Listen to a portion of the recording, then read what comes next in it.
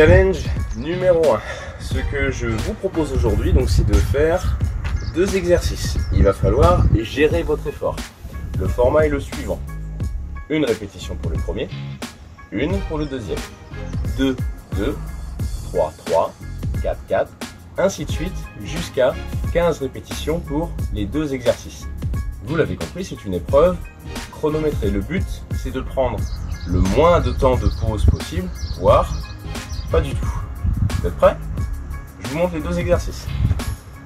Je vais avoir besoin d'un sac de sport pour ceux qui sont le plus avancés et je vais le lester avec des bouteilles d'eau.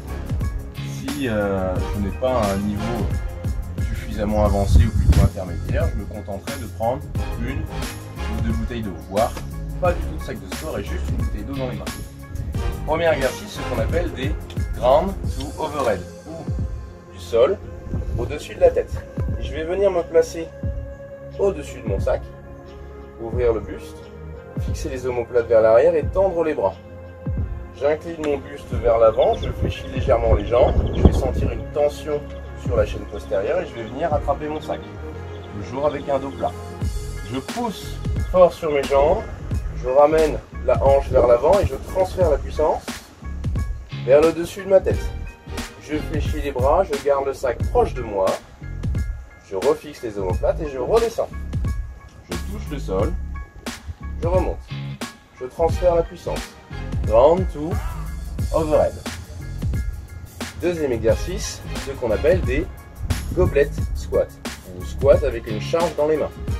Je vais venir placer le sac sous mon manteau, pousser les coudes loin devant, qui va me permettre de garder un dos droit et bien gainé.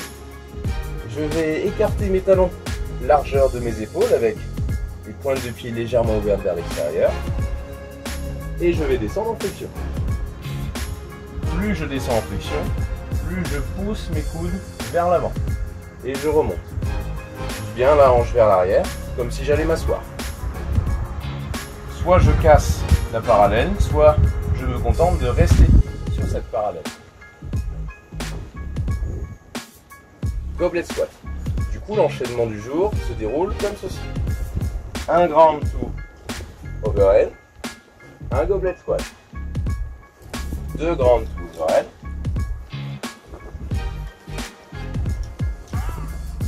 Deux goblet squat. et ainsi de suite pour atteindre les 15 sur chaque mouvement. Voilà votre défi du jour. J'ai fait réaliser ce challenge par euh, ma femme Laurie, qui est euh, une des meilleures crossfiteuses françaises du moment.